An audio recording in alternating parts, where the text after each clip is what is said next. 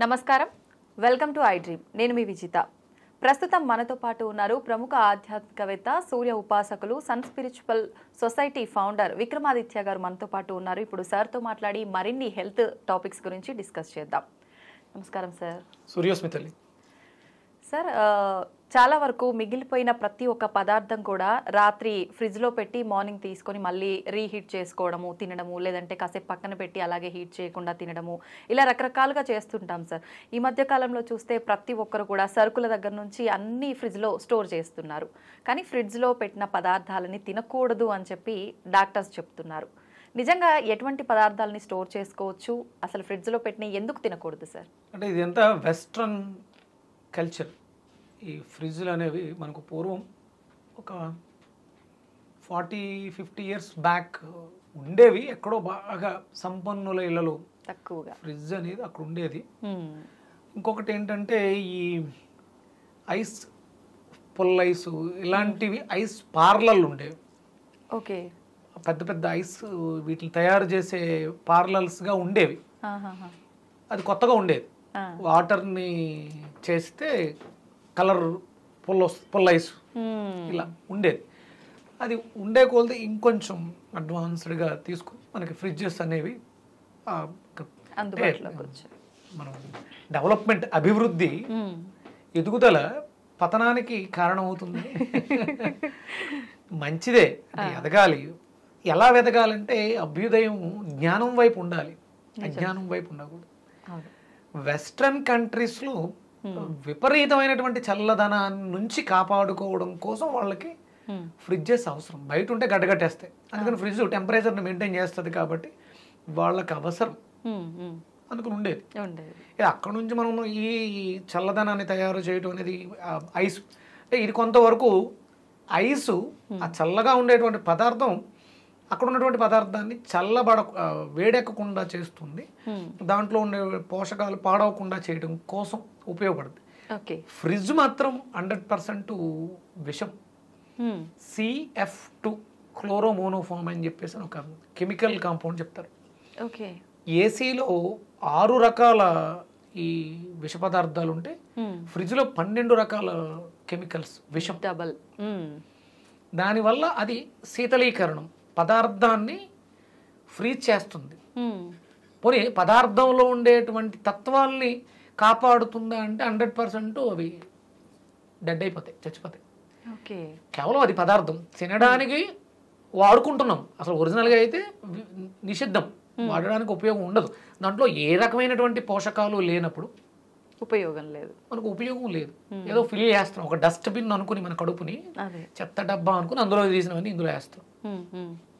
అందుకని మీకు దీని మీద విప్లవం రాజీవ్ దీక్షిత్ గారని మనకి అష్టాంగ యోగం అష్టాంగ హృదయం అని చెప్పేసి అని ఒక శాస్త్రాన్ని బాగా అధ్యయనం చేసి నేచురల్గా ఎలా బ్రతకాలి ఏవి మనకి ఉండాలి ఏమి ఉండకూడదు అనేది ఆయన చాలా పెద్ద విప్లవం తీసుకొచ్చి ఇవన్నీ ఆయన చెప్పినవే.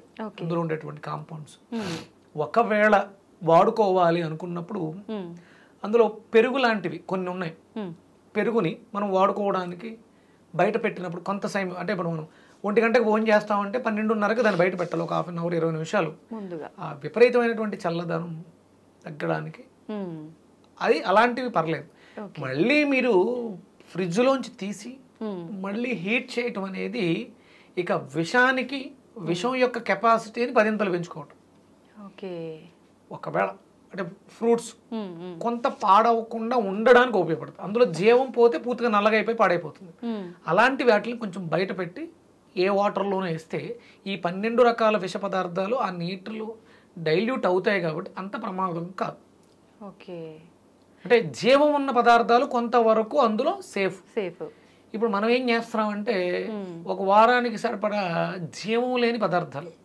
ఎటువంటి సార్ ఓ. మటన్. చికెన్ ఎగ్స్ ఇవన్నీ కూడా ఫ్రిడ్జ్లో దోసేస్తున్నాం. అవును. మీరు గాంధీ ఉస్మానియా హాస్పిటల్స్ దగ్గరికి వెళ్ళినప్పుడు అక్కడ కూడా ఫ్రిడ్జ్ ఉంటుంది చాలా పెద్దది. ఏముంటాయి అందులో హ్మ్. ఏముంటాయమ్మా మార్చురీ. శవం ఉంటుంది.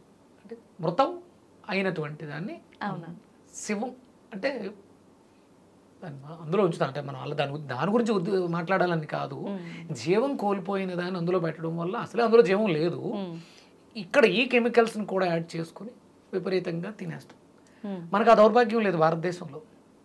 ఎప్పటికప్పుడు ఫ్రెష్గా మనకి మార్కెట్లు మీరు నాన్ వెజ్ గురించి మాట్లాడుకున్నా ఎప్పటికప్పుడు ఫ్రెష్గా తినటమే. అంటే తినడం తప్పు. ఒకవేళ తినాలి తినాల్సి వస్తే నో ప్రాబ్లం. అలా లైవ్లో చేసిచ్చే ప్రబుద్ధులు కూడా ఉన్నారు మనకి వెళ్ళేదో కళ్ళేదో ఉన్నారు అవి- మనం చూడకూడదు ఒరిజినల్గా కానీ అవి కూడా చేసేస్తాం. అలా తినొచ్చు తప్ప ఇట్లా అన్నిటిని తీసుకొచ్చి అంటే మార్చరీలో డెడ్ బాడీని మనం ఎందుకు ఇంటికి తెచ్చుకోం. ఒక మనిషి మృతమైన శరీరాన్ని మనం ఇంట్లో ఎందుకు ఉంచుకోం. రెండు మూడు రోజులు ఉండాల్సి వస్తే. అది బ్యాక్టీరియా పాయిజన్ ఇక చాలా రకాలు. అది అశుభం మనకి మంచిది కాదు మన జీవన విధానానికి కాదు కాబట్టి ఇంట్లో ఉంచుకోం. ఎక్కడో ఊరి చివర మనం దానికోసం చేస్తాం. మరి అలాంటిది అయ్య, దేహమే దేవాలయం అనుకున్నాం. ఇదే మనల్ని నడిపిస్తుంది అనుకున్నప్పుడు ఈ అడ్డమైన డంపింగ్ యాడా ఇది. కాదు. ప్రకృతి సహజమైనటువంటి ప్రాణశక్తి అధికంగా ఉన్న పదార్థాలని దీనికి ఇవ్వాలి. నేను అందుకని ఒక విప్లవం గురించి మాట్లాడడం జరిగింది. దీనికి ఆద్యుండి నేను కాదు. ఇది నా గురువులు మాకు నేర్పించినటువంటి విద్య. వెజిటబుల్ థెరపీ కూరగాయల్లో జీవం ఉంది. ఆ జీవాన్ని ఈ జీవుడికి ఇస్తున్నాం. ఈయన వెళ్ళటానికి. ఎందుకంటే మనం ఇన్కార్నేషన్ జన్మ ఎందుకు తీసుకున్నాం? మ్మ్. ఏదో పుట్టాం. ఎవరో కన్నారు. చదివించారు పెళ్ళి చేశారు పిల్లల్ని కన్నాం. ఉద్యోగం చేశాను డబ్బులు సంపాదించాను కార్లు బంగ్లాల్లో తిరిగేసాను అయిపోయిందా? మ్మ్. మనకంటూ ఏదో ప్రతి మనిషికి కూడా పర్పస్ ఉంటుంది ఈ లైఫ్కి ఆ పర్పస్ కోసం ప్రయత్నించాలి అన్నప్పుడు ఆ- ఇంట్యూషన్ ఆ నాలెడ్జ్ ఆ జ్ఞానం దేంట్లో ఉందో దాన్ని తినమన్నారు. ఈ మృతం దానికి ఏమీ లేదు ఇంకా. అయిపోయింది. దాంట్లో ఏమి ఉండదు. అది మనకి అదే ఏమీ చేయలేసుకోపోయింది ఇక అది మనకి ఏం చెప్పుద్ది? అందుకని వెజిటేబుల్స్లో ఒక్కొక్క వెజిటేబుల్కి ఒక్కొక్క కారకత్వం ఉంది. బూడిద గుమ్మడికాయ. దాంట్లో ఒక కారకత్వం. అది భయాన్ని పోగొట్టేస్తుంది. ఈ జన్మ రాహిత్యాన్ని తెలియజేస్తుంది. వంకాయ. ఒక ఫోబియాస్ ఉంటాయి కదా? అలాంటి ఫోబియాస్ నుంచి తీసేసి కుటుంబ వ్యవస్థ. అంటే నువ్వు కుటుంబంతో ఎలా మమేకమై ఉండాలి? నువ్వు ధనాన్ని ఎలా సంపాదించాలి? ఇది వంకాయ చెప్తుంది. వంకాయ తింటే ధనాన్ని అవసరం ఏంటి? డబ్బు. దాన్ని ఎలా సంపాదించాలో వంకాయ చెప్పడం ఏంటమ్మా? మ్మ్. ఆ వంకాయలో ఆ నాలెడ్జ్ ఉంది ఆ జ్ఞానం ఉంది. బుడిద గుమ్మడికాయలో బ్రెయిన్ ఉంది. మీ బ్రెయిన్కి కావాల్సింది. అంతా చేసేది బ్రెయినే కదా? బ్రెయిన్కి కావాల్సిన ఎనర్జీ అంతా కాస్మిక్ ఎనర్జీ బ్రెయిన్ బూడిద గుమ్మడికాయలో ఉంది. అది వంకాయ ఇంప్లిమెంటేషన్ చేస్తుంది. గోరుచిక్కులు దానికి నేను ప్రయత్నం చేసేలా చేస్తున్నాయి. పొట్లకాయ నీ ప్రయత్నంలో నీకు సహకారిగా కావాల్సినటువంటి సిద్ధులు అష్టసిద్ధులు పొట్లకాయ ఇస్తుంది. దాన్ని నీకు మజిల్ వ్యవస్థ అడుగు వేయడానికి డిఎన్ఏ ఫార్ములేషన్ ఇవన్నీ కూడా మంచి గుమ్మడికాయ చేస్తుంది మ్మ్. వీటిలన్నింటినీ రక్షణ విలయంగా అంటే ఇంటాక్సికేషన్స్ ఏమైనా బాడీలో ఉంటే దొండకాయ క్లియర్ చేస్తుంది ఓకే అంటే ఇవన్నీ కూడా బయట ఉన్నప్పుడు. ఈ ఆలోచన విధానాన్ని అంతా తీసుకెళ్ళి ఫ్రిడ్జ్లో పెడితే ఇక అవి కోల్పోతే ఇక మనకేముంది మాంసం తిన్నా ఒకటే ఫ్రిడ్జ్లో పెట్టిన దాన్ని కూరగాయలు తిన్నా ఒకటే. అవును. అందుకని మ్యాక్సిమం ఫ్రిడ్జ్ని అవాయిడ్ చేయండి. అది వాడకుండా ఉండడమే ఉపయుక్తకరం. మా ఇంట్లో కూడా ఫ్రిడ్జ్ ఉంది. నాకు తెలియక ఒక కొన్ని ఇంచుమించు ఒక ఇరవై ఏళ్ళు అవుతుంది. ఫ్రిడ్జ్ ఉంది. కానీ ఖాళీగా ఉంటుంది అది. అసలు వాడరు. అన్నట్టు ఏమైనా మెడిసిన్స్ కొన్ని ఓపెన్ చేసినవి కంపల్సరీ మళ్ళీ ఫ్రిడ్జ్ కొంచెం మెయింటైన్ చేయాలంటారు కదా అలాంటి మెడిసిన్స్. అవి ఉంటాయి తప్ప పాలు. ఓకే. ఒకేసారి ఎక్కువ తెచ్చు అంటే నేను ఆవు పాలు వాడుతుంటాను.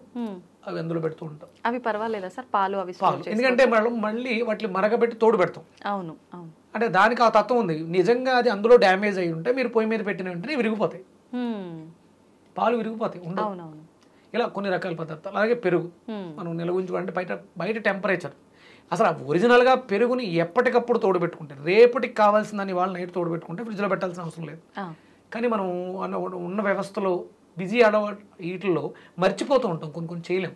అందుకని ఏంటంటే కొంచెం ఇలాంటివి మనం తప్పదు. ఇప్పుడున్నటువంటి బిజీ లైఫ్లో ఓకే. వాడుకోవచ్చు. ఎంత అవాయిడ్ చేస్తే మంచిది.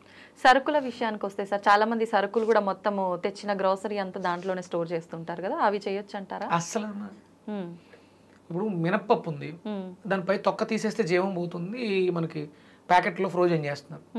ఆ తీసేయడంతో పోయింది. ఆ, దాన్ని మళ్ళీ తీసుకొచ్చి ఫ్రిడ్జ్లో పెడితే ఇంకొక పన్నెండు రకాలు యాడ్ చేస్తున్నాం. కందిపప్పు మినపప్పు మా ఇంట్లో కూడా అలా జరిగేవి. దొరికింది దొరికినట్టు ఫ్రిడ్జ్లో దోస్తున్నాను. నమస్కారం పెట్టా నేను తిన్నాం. ఆ. ఏం ఉండదమ్మా వేస్ట్. అందులో కందిపప్పు పెట్టినా మినపప్పు పెట్టినా. అంటే మీరు ఏమంటారంటే నిలవ ఉండట్లేదు అంట అవును అవును. పూర్వం రోజుల్లో పంటలు వేరు ఇప్పుడు పంటలు వేరు. అంత నిలవ పెట్టుకునేంత అవసరం లేదు. ఎప్పటికప్పుడు కొని తెచ్చుకుందాం వాడు ఎలాగ పెడతాడు కదా స్టాకు.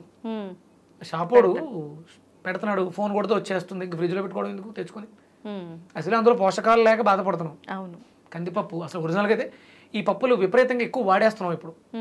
మనం నేను ప్రోటీన్ అధికంగా తీసుకోవడం తప్పు అంటాను అంటే ప్రోటీన్ అనగానే మీరు ఏమనుకుంటారు? మాంసం గుడ్లు చేపలు వీటి గురించి మాట్లాడుతున్నాను అనుకుంటారు కందిపప్పు మినపప్పు పెసరపప్పుల్లో కూడా మాంసం కన్నా ఎక్కువ ప్రోటీన్ ఉంది అని మాట్లాడతాం మనం. అవి ఎక్కువ తినేస్తాం. అసలు ప్రమాదం మాంసం కన్నా వీటి వల్ల ఎక్కువ అవుతుంది ఇప్పుడు. ఇప్పుడు రోజుల్లో. నేను దాని కూడా రీసెర్చ్ చేశాను.